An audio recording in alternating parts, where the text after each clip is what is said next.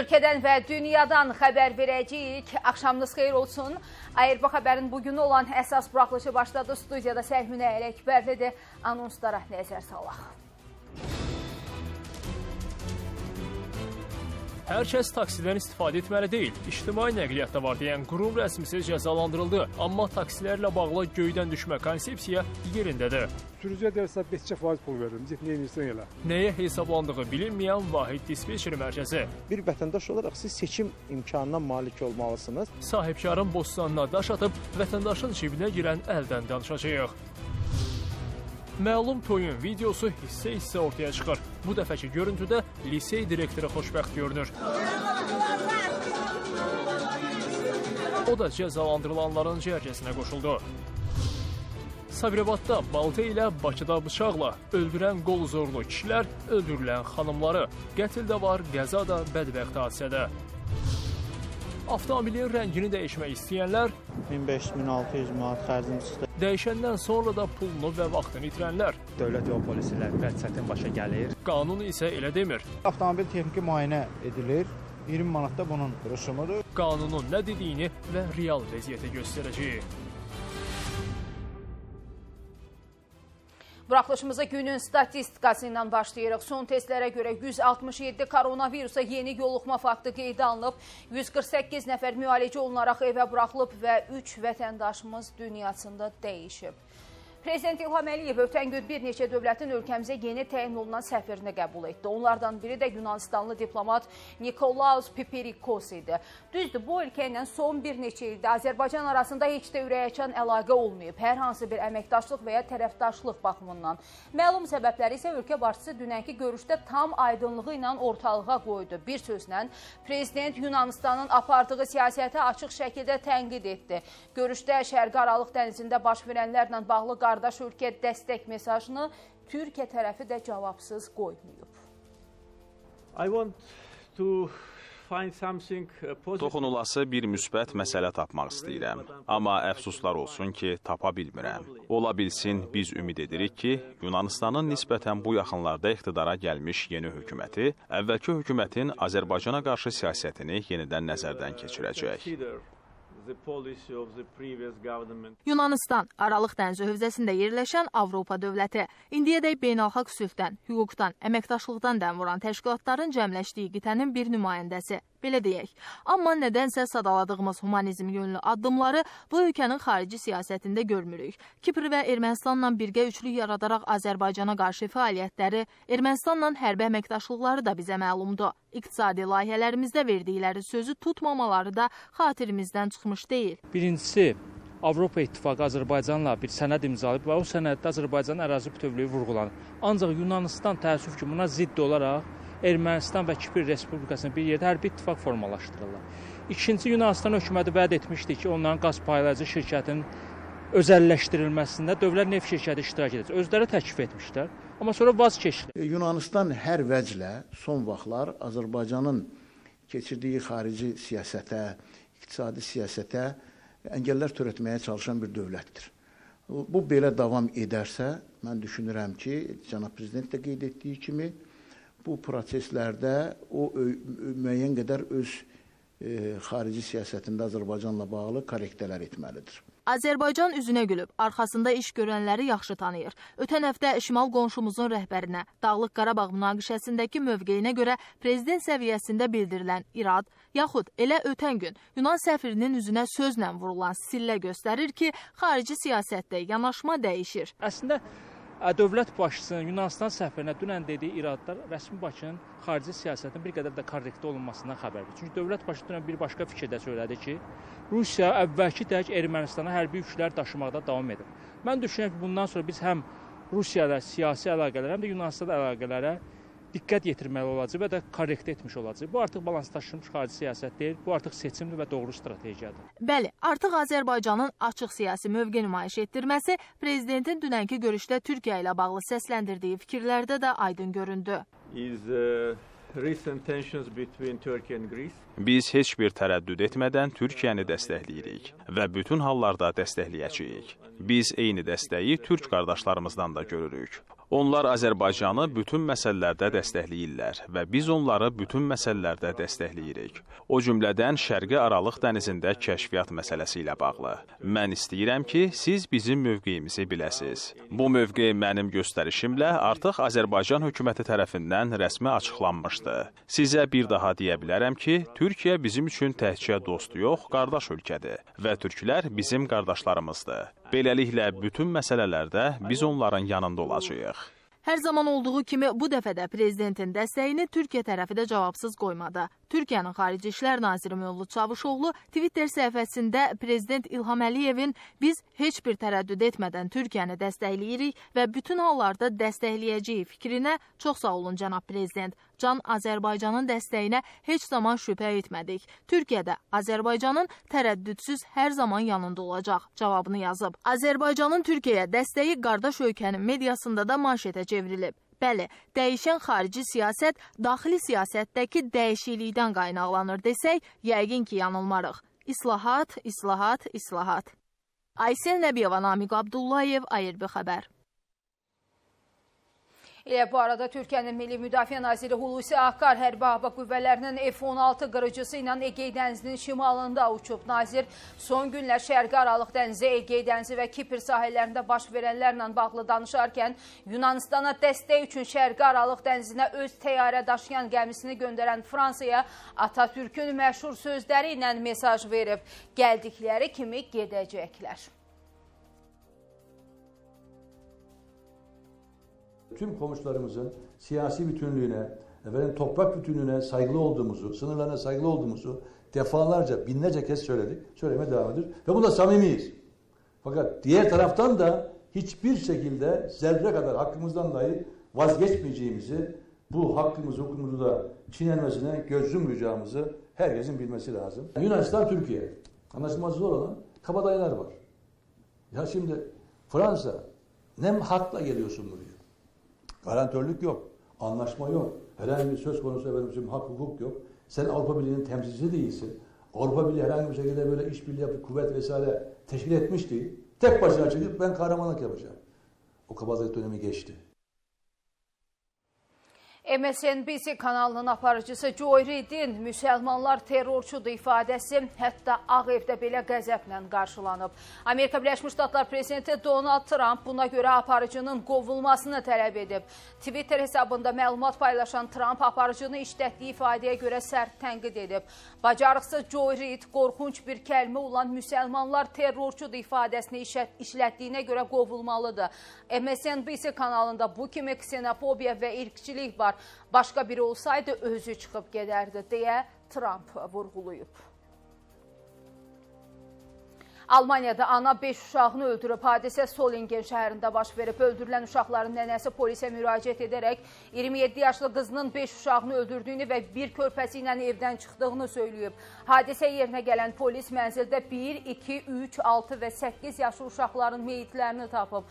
Polisin məlumatına görə 27 yaşlı qadın Düsseldorf şəhərində özünü qatarın altına ataraq intihar etmək istəyib, lakin ağır yaralansa da sağ qalıb. Qadının özü ilə apardığı 11 yaşlı digər uşaq isə heç bir xəsarət almayıb, hadisə ilə bağlı araşdırmalara başlanılıb.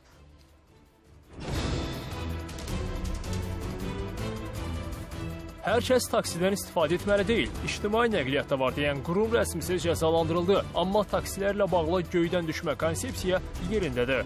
Sürücüyə dərsə 5% pul verirəm, get nə edirsən elə. Nəyə hesablandığı bilinməyən vahid dispetçeri mərkəzi. Bir vətəndaş olaraq siz seçim imkanına malik olmalısınız. Sahibkarın bostanına daş atıb vətəndaşın cibinə girən əldən danışacağıq.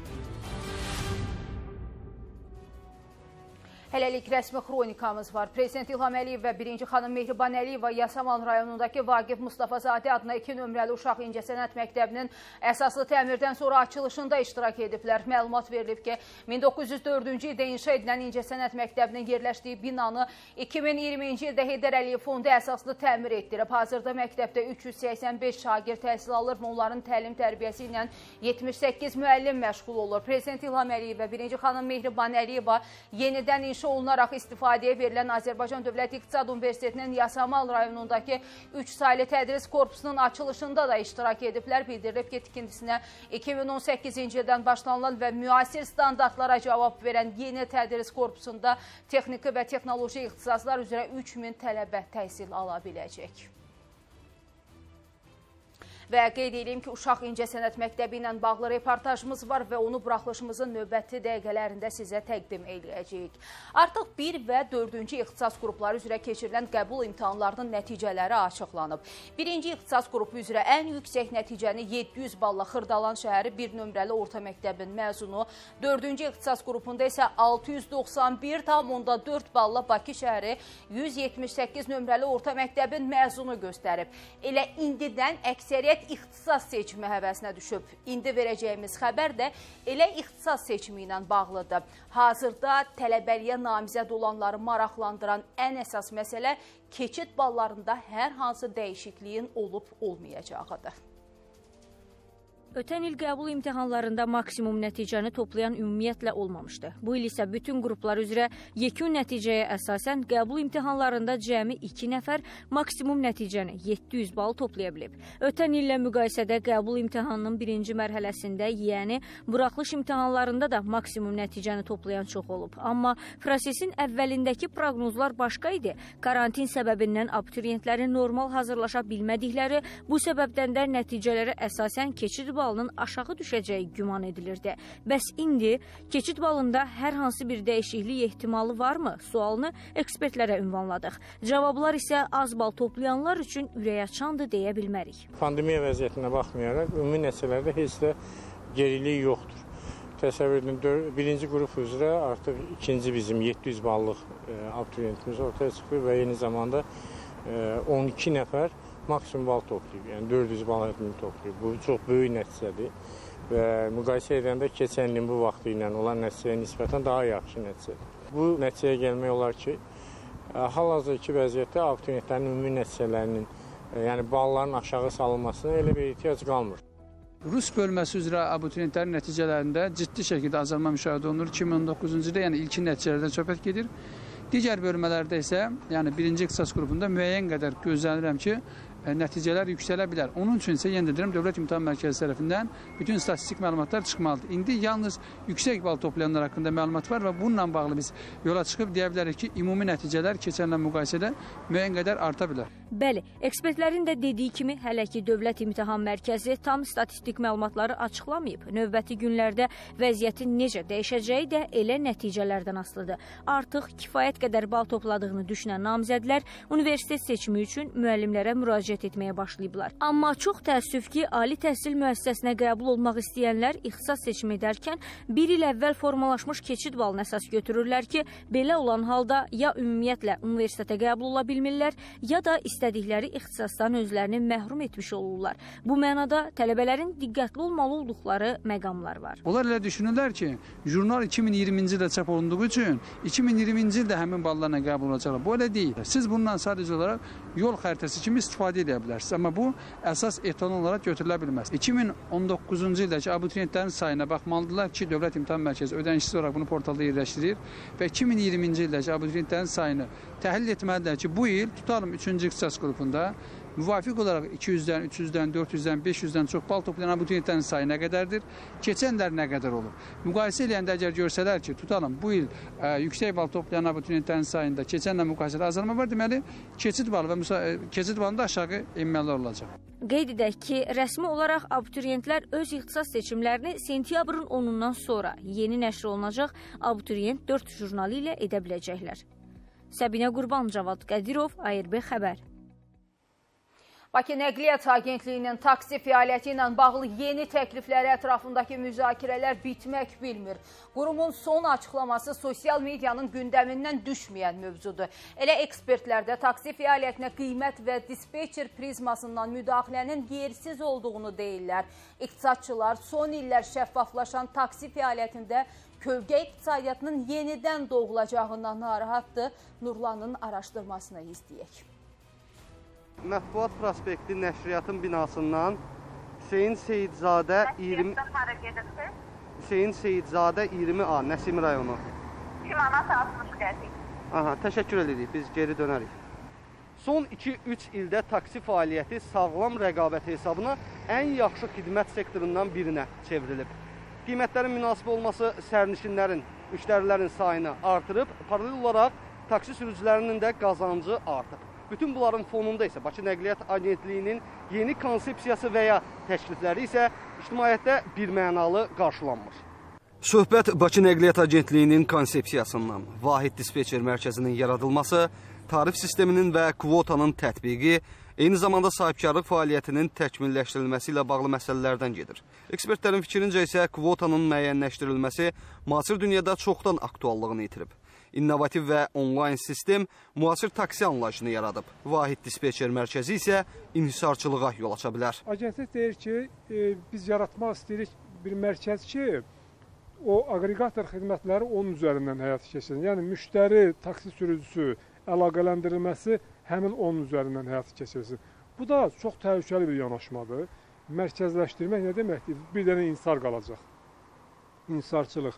Və məsələn deyirlər ki, e, hazırda mövcud olan aqreqatorlar sürücülərə çox aşağı faizlər verirlər, qiymətləri çox aşağı salırlar və s. nəticədə sürücülərin sosial vəziyyəti pisləşir.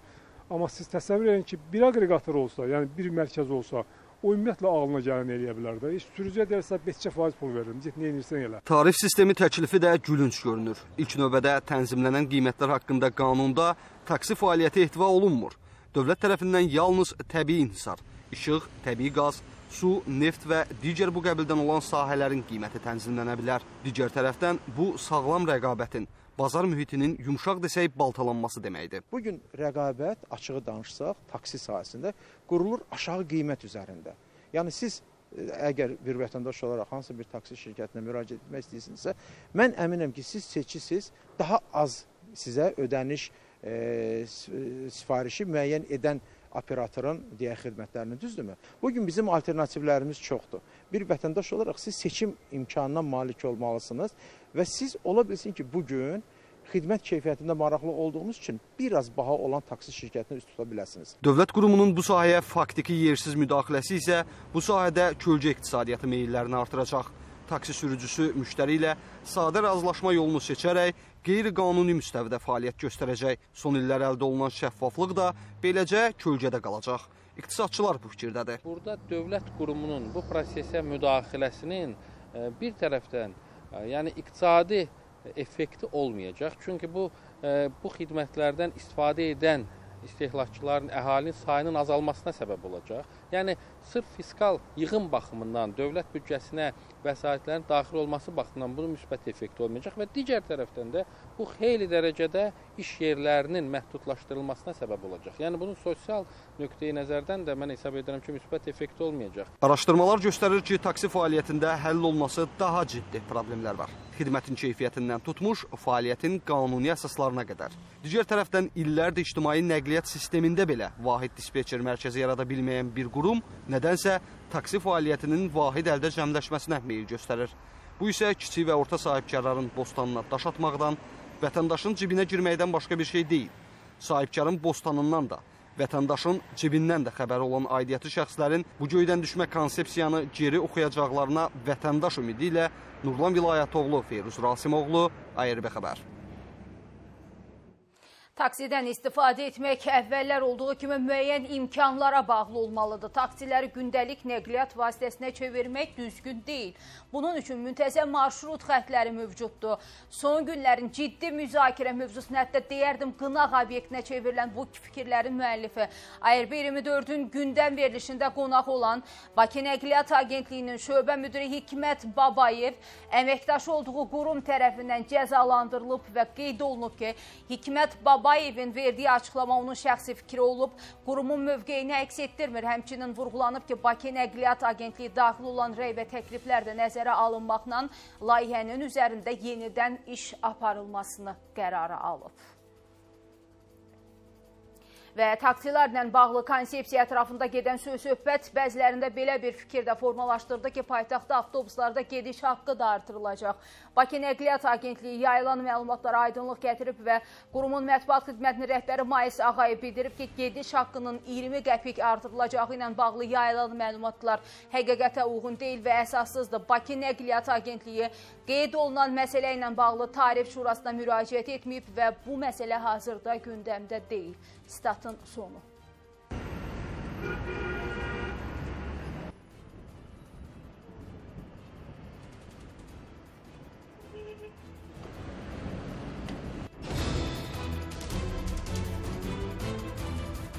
Avtomobilin rəngini dəyişmək istəyənlər 1500-1600 manat xərcim çıxdı. Dəyişəndən sonra da pulunu və vaxtını itirənlər. Dövlət yol polisi ilə biraz çətin başa gəlir. Qanun isə elə demir. Avtomobil texniki müayinə edilir. 20 manat da bunun rüsumudur. Qanunun nə dediyini və real vəziyyəti göstərəcəyik. Ramiz Mehdiyevin nəvəsinin toyundan daha bir video görüntü üzə çıxıb. Bu videoda yer alanlar arasında başqa bir vəzifəli şəxs də var. Bu, Heydər Əliyev adına liseyin direktoru Sevinç Orucovadır. Xüsusi karantin rejimi qaydalarına pozduğuna görə ona Təhsil Nazirinin müvafiq əmri ilə töhmət verilib. Və çox təəssüf ki, bugün qadınların qurbana çevirdiyi hadisələr qeydə alınıb. Sabirabadda həyat yoldaşını balta ilə qətlə yetirən kişi tutulub. Rayonun Qardaş kənd sakini 41 yaşlı Təranə Məmmədovanın əri Eyvaz Məmmədov tərəfindən öldürüldüyü məlum olub. Aparılan araşdırmalarla müəyyən edilib ki, o yaşadıkları evin yaxınlığında qısqanclıq zəminində aralarında yaranan mübahisə zamanı balta ilə çox saylı xəsarətlər yetirməklə Təranəni qəsdən həyatdan məhrum edib. Məmmədov şübhəli şəxs qismində tutularaq istintaqa cəlb olunub, iş üzrə istintaq tədbirləri davam etdirilir.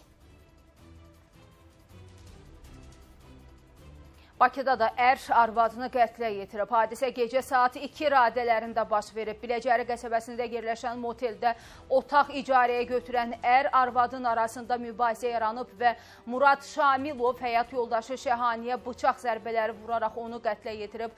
Hadisəni törədən şəxs tutularaq istintaqa cəlb edilib. Bakı-Qazax yolunun Hacıqabulun Muğan kəndindən keçən hissəsində yol qəzası baş verib. Bərdə rayon sakini 23 yaşlı Coşqun Rızaev idarə etdiyi Ford markalı yük maşını ilə qarşısında hərəkət edən yüklü Kamaza çırpılıb. Fordda olan sərnişin Bərdə sakini 29 yaşlı Qabil İbrahimov hadisə yerində dünyasını dəyişib. Coşqun Rızaev isə ağır bədən xəsarətləri ilə Kürdəmir rayon mərkəzi xəstəxanasının travmatologiya şöbəsinə yerləşdirilib. Faktla bağlı araşdırma aparılır. Şəkidə isə it 10 yaşlı uşağı dişləyib. Hadisə şəhərin 125-ci kvartal adlanan ərazisində baş verib. Yoldaşları ilə oynamaq üçün küçüyə çıxan Talih Mustafayev it İtin hücumuna məruz qalıb, heyvan azyaşlıya müxtəlif bədən xəsarətləri yetirib, onu dərhal Şəki rayon mərkəzi xəstəxanasına çatdırıblar. İlkin tibbi yardım göstərilərək quduzluğa qarşı peyvənd vurulan uşaq cərrahiyyə şöbəsinə yerləşdirilib. Qapını açdım, uşaqları çağırdım, uşaqlar gəlmədi. Yəni biraz nə idi, içəri girmişdim. Gəlib nə idi, iç, e, nə idi, boyda halqa var idi. Onda tullandı, zinciri halqa kimi eləmişdilər. Tullandı, halqadan çıxıb gəldi üstümə. Demək olar ki, it, it əlindən gezmək olmur, kişiyə uşağı çıxartmaq olmur. Çox dərdindən artıq orada it çoxdur. Xahiş eləyərdim ki, itləri yığışdırsınlar. Biz də uşağı ürəkli buraxanmırıq ki, ki, tutur uşaqları. Buraxılışımızı davam eləyirik və avtomobilinin rəngini dəyişmək həvəsində olanlar. Bunu etmək istəyirsinizsə və ya hər hansı tərəddüdünüz varsa, sıradakı süjetimizi izləyin. Qanun nə deyir, ekspertlər rəyləri və təbii ki, maddi tərəf bu və digər maraqlandıran suallar barədə Vüsal danışacaq.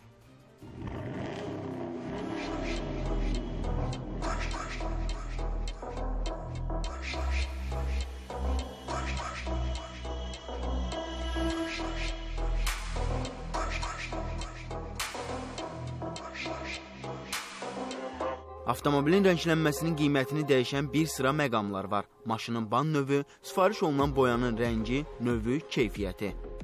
Təxminən 1500-1600 manat xərcim çıxdı rəngini dəyişməyə. Bəli, qiymət təxminən 1000 manatdan 2600 manata qədər dəyişir. Amma cibində pulu olan avtomobil həvəskarlarını bu qiymət çəkindirmir. Avtomobilin rəngini dəyişmək istəyən gənclər isə daha çox avtomobilin köhnə rəngini qorumaq üçün vinildən istifadə edirlər. Təbii ki, vinil rəngdən biraz baha başa gəlir. Hazırda qarşısında dayandığımız avtomobilin vinillənməsinə təxminən 2000 manat pul xərclənib.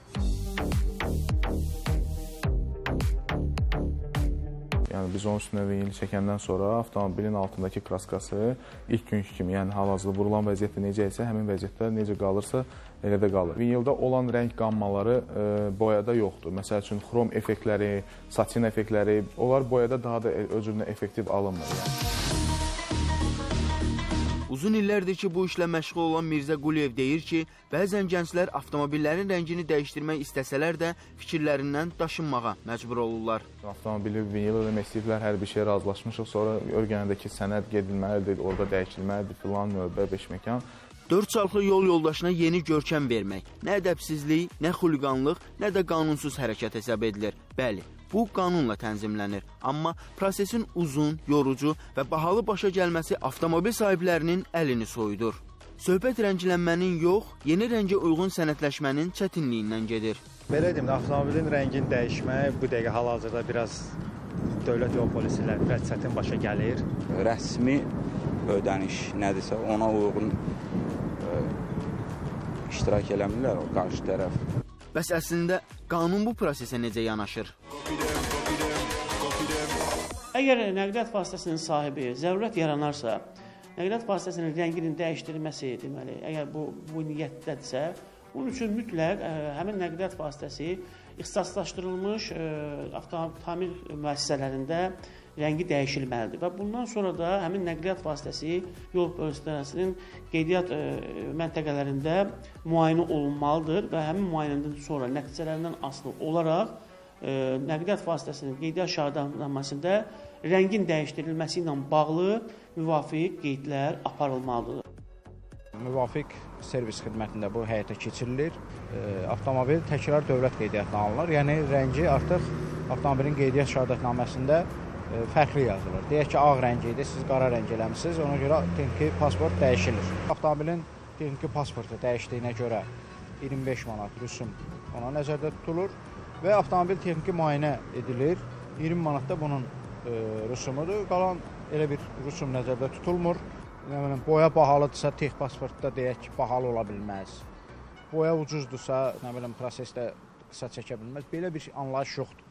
Ekspertlər onda deyir ki, bütün sənədləşmə proseduru bir gün ərzində başa çatmalıdır. Avtomobillərin rənginin dəyişdirilməsi ilə bağlı rəsmiləşdirməni ərazi üzrə regional qeydiyyat imtahan və texniki baxış şöbələrində müvafiq rüsumu ödəməklə etmək mümkündür. Sadəcə qanunu bilmək və qarşı tərəfin də buna əməl etməsini tələb etmək kifayətdir.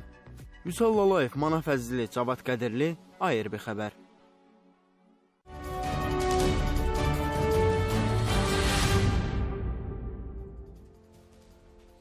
1940-cı ildən fəaliyyət göstərən Vaqif Mustafazadə adına 2 saylı uşaq incəsənət məktəbi əsaslı təmirdən sonra istismara verilib. Binası 1904-cü ildə tikilən təhsil ocağı 80 illik fəaliyyəti dövründə ilk dəfə əsaslı bərpa edilib. Qədimiliyin və müasirliyin izlərini özündə daşıyan binanın hazırki vəziyyətini görmək istəyənlər ekrana yaxın əyləşin. 115 yaşlı bina tarixi orijinallığı saxlanılmaqla tam müasir standartlara uyğun əsaslı restavrasiya olunub. Müəssisədə rəssamlıq, nağara, fortepiano, klarnet, tar, kamança, qanun, gitara, xanəndəlik, vokal sinifləri var. Sən də təkcə mənim adıma düşdün, nazən də sevgilim yadıma düşdün. Mən ifa etməyi o qədər də yaxşı bacarmasam da, bu məktəbdə təhsil alan və məndən qat-qat yaxşı ifa edə bilən uşaqların e, öz səsini peşəkar səviyyədə yaza bilməsi üçün bu məktəbdə müasir standartlara cavab verən səs yazma studiyası yaradılıb. Vaqif Mustafazadə sinfi isə məktəbin ən mənalı güşəsi hesab edilir.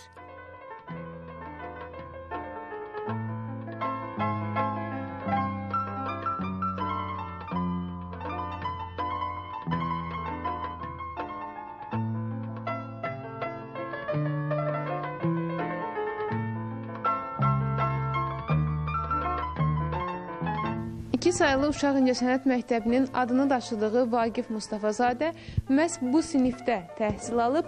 Onu qeyd eləyək ki, neçə-neçə böyük əsərlərin həm bəstəkarı, həm də ifaçısı olan Vaqif Mustafazadə ilk notları da məhz bu pianin arxasında öyrənib.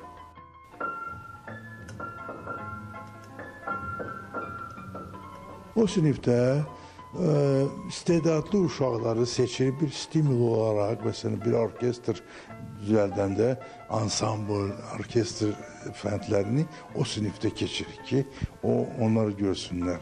Həm orada zərb alətlər gördünüz, trombon, truba, saksafon, fortepiano. Bax, belə fəndləri, ansambl fəndləri o sinifdə keçirik. Və uşaqlar o şəkillərə baxır, o dövrün musiqiçilərini görür, informasiya görür, hiss edir, daha gözəl alınır onların iş prosesi. İncəsənət Məktəbinin 2 mərtəbəli binasında 15 fərdi tədris otağı, nəzəriyyə otaqları, kitabxana, konfrans zalı, rəssamlıq otaqları və xoreoqrafiya zalı fəaliyyət göstərir. Məktəbin hazırda 385 şagirdi var. İncəsənətin 14 müxtəlif sahəsi üzrə 5 il müddətində təhsil verən müəssisəyə uşaqlar 8 yaşından qəbul olunur. İlahə Məmmədova, Qadir Əliyev, ARB xəbər. Bu sonuncu süjetimiz idi. Ayrbəni izləməkdə davam edin. Diqqətinizə görə minnətdaram.